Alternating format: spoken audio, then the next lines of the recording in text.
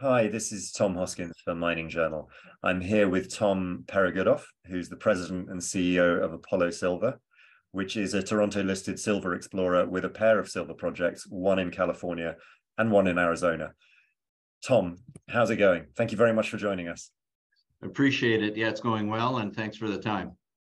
No problem at all. So, for those viewers who aren't familiar with Apollo Silver, why don't you just start by telling us a bit about the company and your flagship Calico Silver project? Sure, absolutely. Well, look, uh, we uh, we were formed back in uh, 2021 uh, with uh, the amalgamation with a, a, a private co.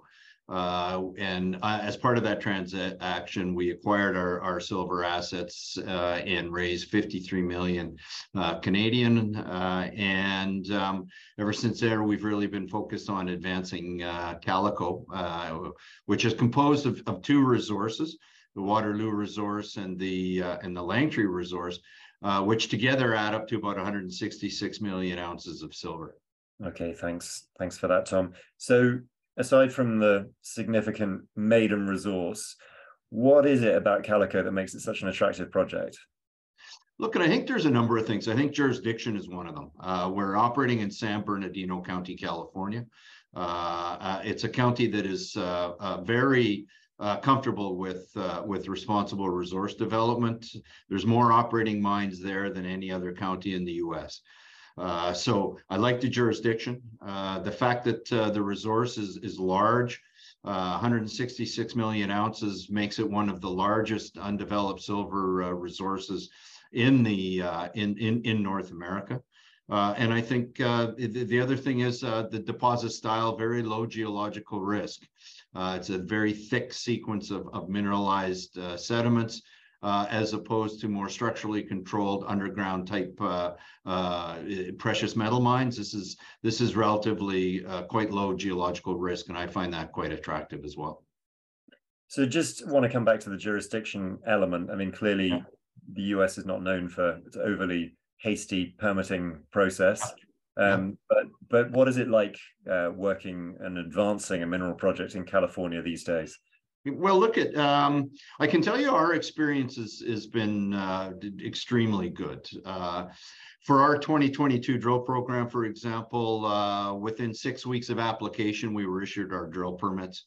Uh, we are going through the process of renewing right now, and it's been about two or three weeks, and I've been told uh, that we'll get those permit renewals this week. So, I mean, from that perspective, I'm very happy. Uh, I can tell you as well, you know, from from a, a, a, a jurisdictional perspective, uh, you know, San Bernardino County, and uh, it, it, really is is um, as I said, uh, very, very supportive of, of resource development.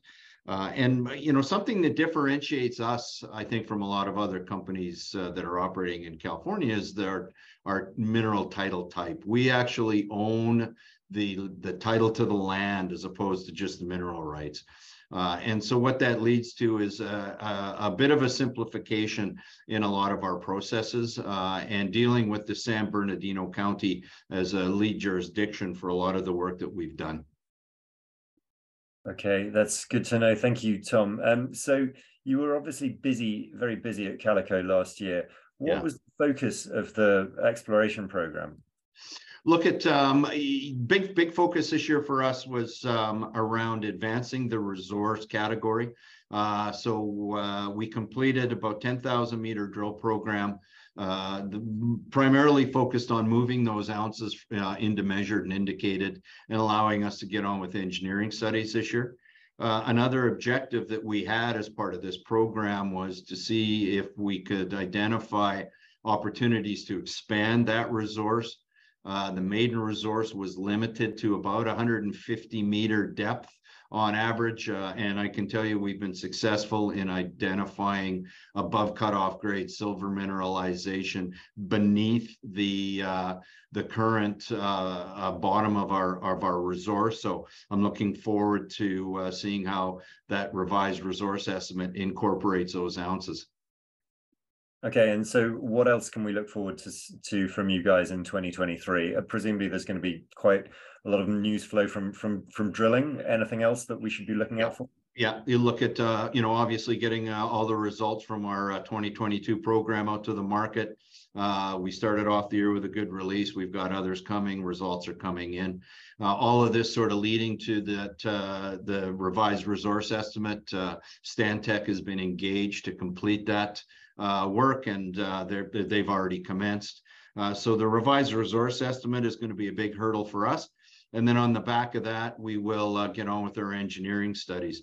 Uh, we've also been undertaking uh, a phase one metallurgical uh, program, uh, and I expect the results will uh, be in our hands and out to the market in the coming weeks.